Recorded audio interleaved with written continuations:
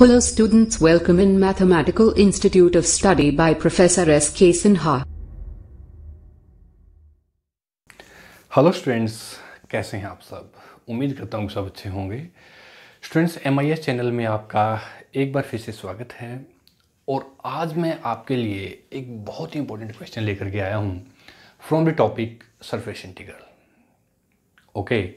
तो उम्मीद करता हूँ कि आप इस क्वेश्चन को बहुत अच्छे समझेंगे और इसकी प्रैक्टिस करेंगे। तो चलिए friend without time waste start करते हैं। Most important question from the topic surface integral but before starting this question first of all subscribe my channel and press the bell icon ताकि आपको मेरे हर एक लेक्चर की update video time to time मिलती रहे। मैं professor S K Sinha M I S channel में आपका स्वागत करता हूँ। तो चलिए स्टूडेंट स्टार्ट करते हैं। एक बहुत ही प्यारा सा question from the chapter vector integration topic surface integral से। ओके okay, तो क्वेश्चन आपके पास evaluate five unit vector and d s where five equal to three by eight x y z and s is the surface of the cylinder x square plus y square equal to sixteen included in the first octant between z is equal to zero two z is equal to five बहुत important question students ये भी और बहुत बार different different universities में different different board में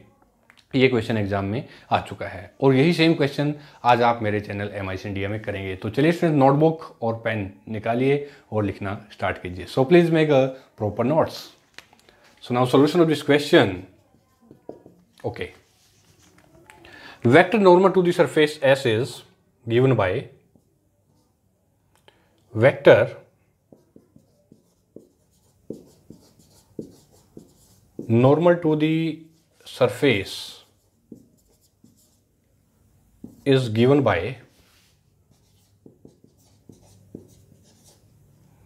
delta x square plus y square ठीक है स्टूडेंट्स ये किसके इक्वल है देखिए? Two x unit vector i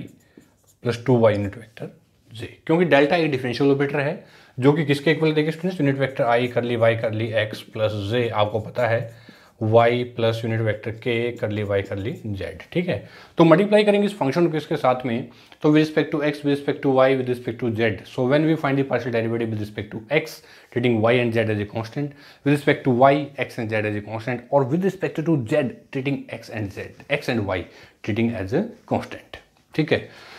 तो अब इसके बाद मैं लेता हूँ now let unit vector n n is equal to n cap ले लिया मैंने unit vector normal to the surface S. Unit vector normal to the surface S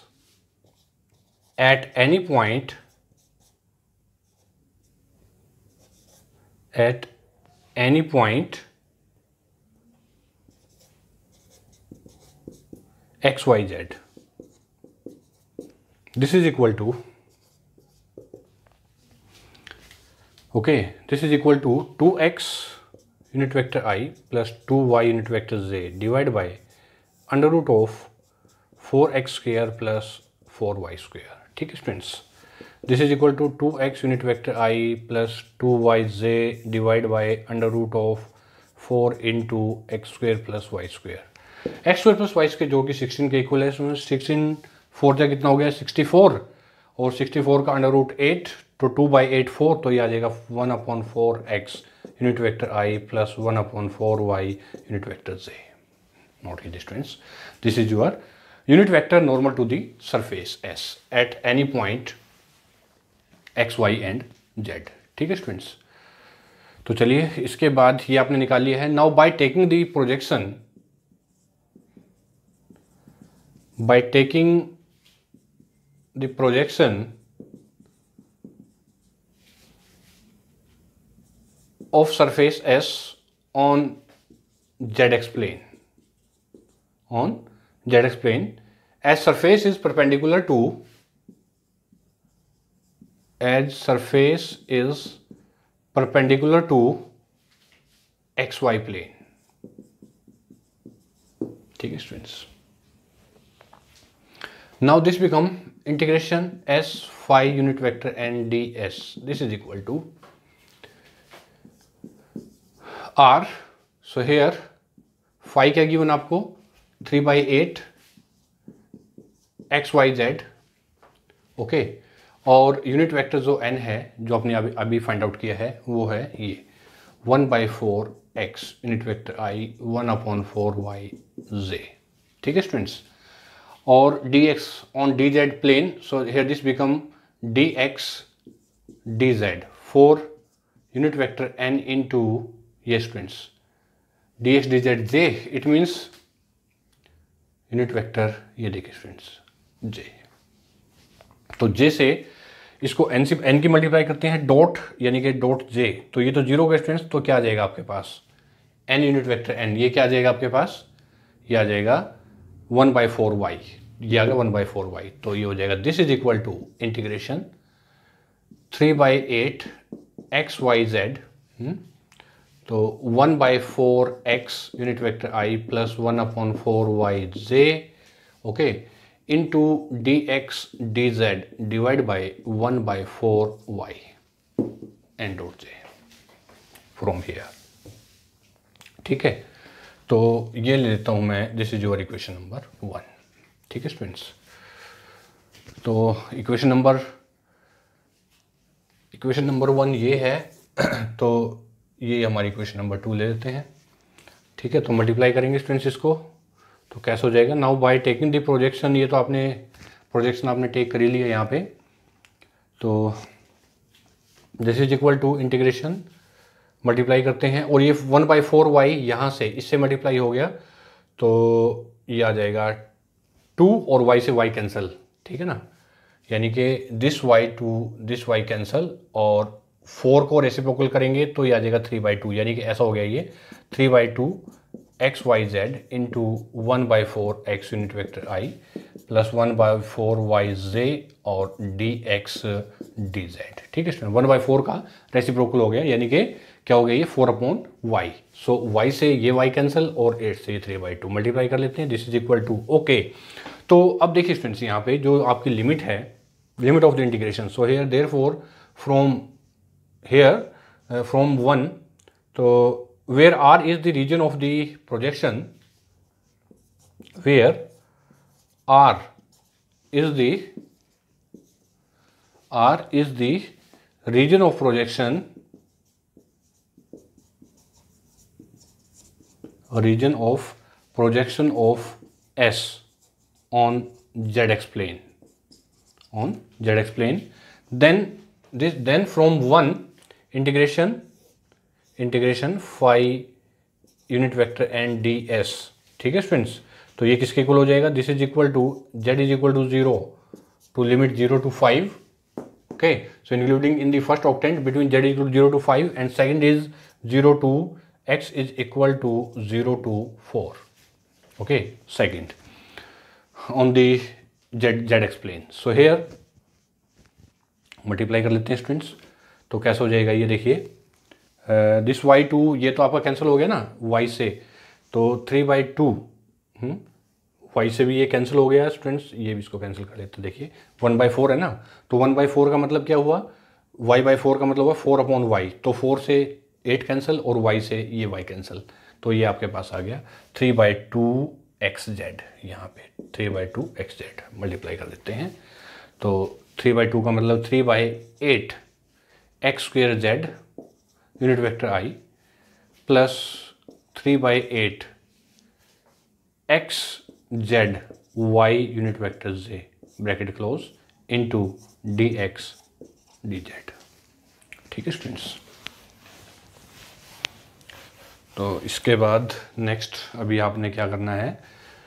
तो थ्री बाई एट मैं कॉमन ले लेता हूँ सभी में से। तो integration five n unit d s is equal to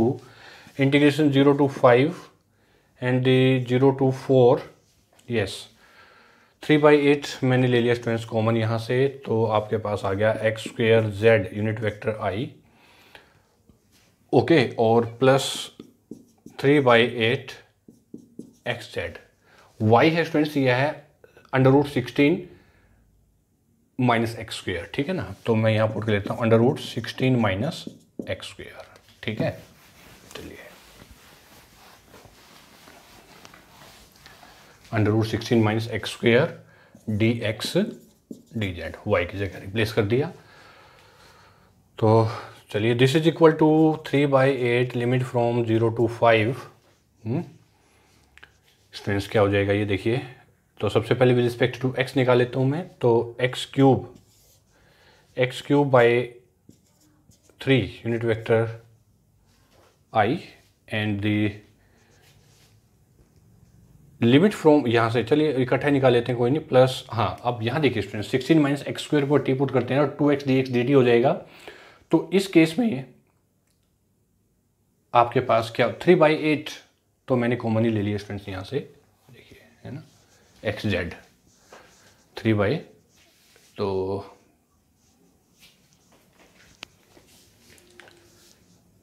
hair three by eight मैंने यहाँ से कॉमन ले लिया स्टूडेंट्स तो x z under root of sixteen minus x square d x d z ठीक है ना? तो x cube by three z unit vector i minus minus z by हाँ स्टूडेंट्स ये देखिए यहाँ पे minus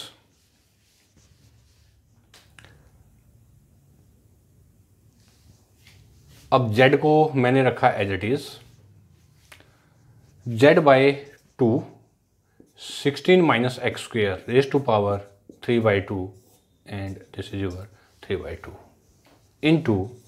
dz and the limit from 0 to 4 देखिए स्टूडेंट्स राइट तो चलिए now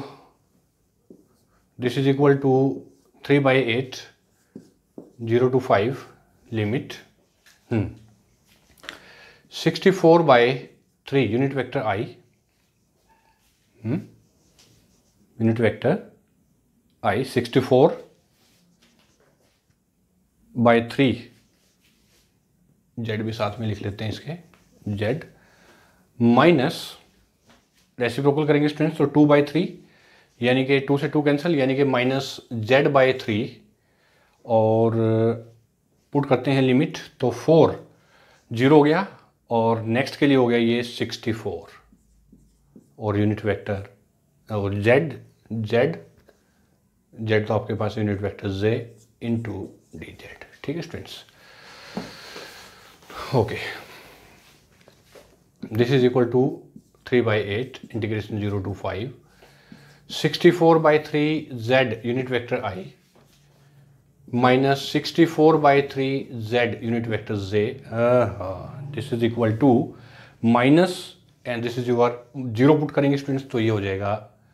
प्लस प्लस ठीक है ना? क्योंकि अपर लिमिट पे ये ज़ीरो हो गया और लोअर लिमिट यहाँ ज़ीरो पुट करेंगे तो लोअर लिमिट के लिए माइनस आता है तो माइनस ऑलरेडी है यहाँ पे तो minus minus plus plus okay और, ये इन टू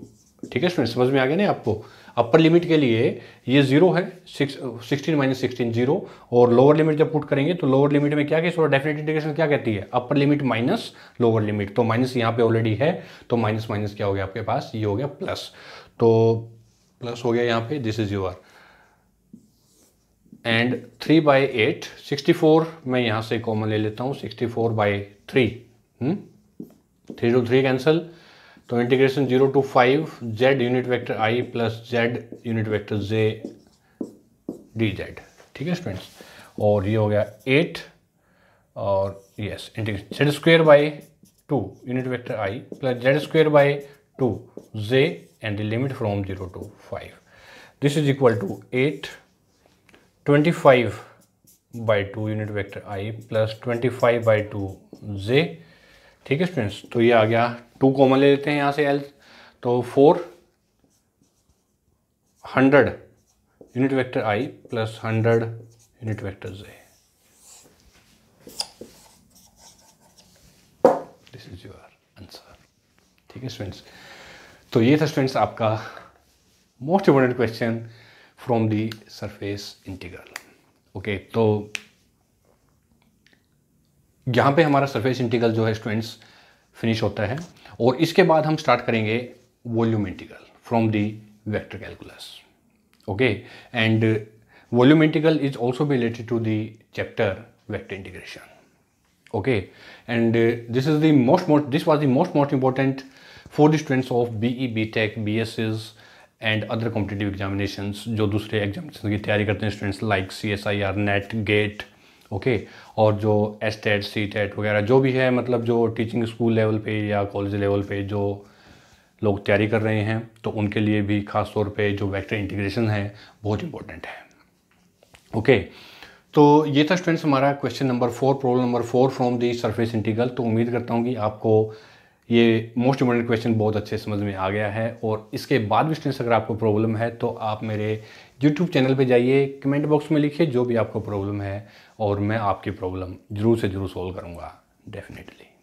ओके तो बताइए स्टूडेंट्स आपको मेरा आज का लेक्चर कैसा लगा? तो प्लीज़ लाइक बटन तो प्रेस कर ही दीजिए, साथ में कमेंट कीजिए शेयर कीजिए और हाँ सब्सक्राइब करना मत भूलिए ताकि मेरे हर एक लेक्चर की update video time to time मिलती रहे। ओके तो स्टूडेंट्स इसके बाद मैं आपके लिए वेक्टर इंटीग्रेशन से एक नया टॉपिक लेकर के आऊँगा वॉल्यूम इंटीग्रल ओके तो तब तक के लिए students bye bye thank you very much and all the best